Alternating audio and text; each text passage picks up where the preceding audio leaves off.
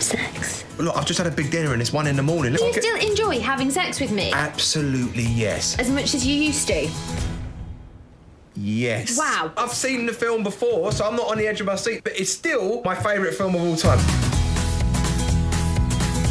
You don't have kids? We have actually been trying for kids for a while now.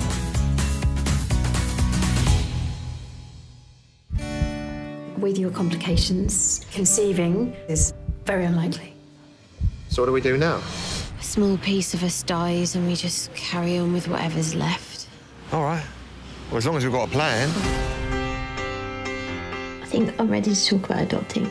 You've got to be careful with adoption. Mel from the club got a rescue dog.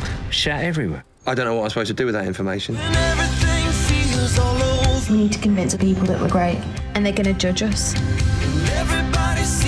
We should make a list of all the flaws that we want to iron out. You drink too much. You should stop smoking. You need to get stronger emotionally. You need to work on your anger. I think we're going to be amazing parents. It is not a test. I am on your side. This is about preparing you for panel. So, how often would you say you have sex?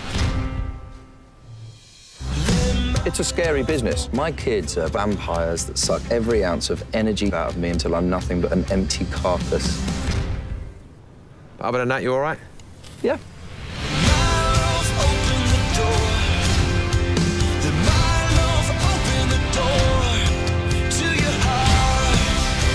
Change. It's a bit scary, but you can't get too attached to what you think your life's going to be.